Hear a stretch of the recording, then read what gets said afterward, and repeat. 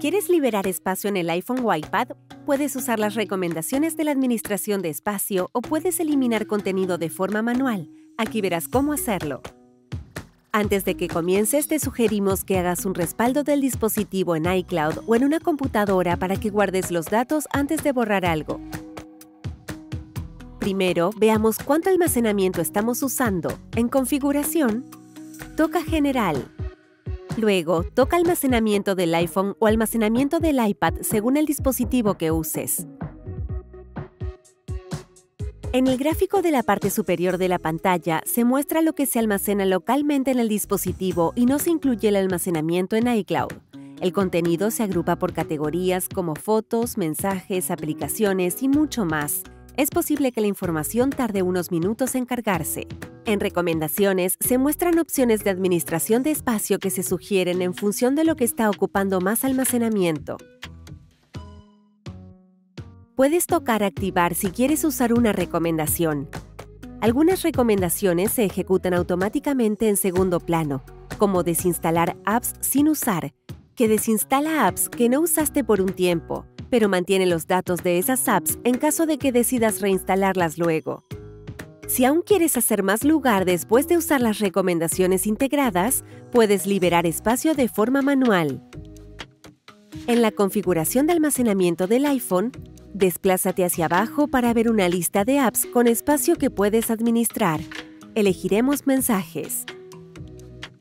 Para eliminar archivos multimedia que no quieres de las conversaciones de mensajes, selecciona un tipo de documento como fotos. Toca Editar en la esquina superior derecha y elige lo que quieras eliminar. Esto solo afecta al contenido de tus conversaciones de mensajes y no afecta nada que hayas guardado en la app Fotos. Sin embargo, una vez que decides eliminar algo de la configuración del almacenamiento del iPhone, esta acción no se puede revertir. Cuando termines con la selección, toca el icono del basurero para eliminar el contenido. Para volver a las opciones de almacenamiento del iPhone, toca la flecha atrás. También puedes desinstalar apps de forma manual para liberar espacio. Eliminemos GarageBand. Toca la app. Y luego, toca desinstalar app para desinstalarla. Con esta acción se eliminará la app del dispositivo, pero se conservarán los documentos y los datos por si quieres volver a instalarla más adelante. Luego, vuelve a tocar desinstalar app para confirmar.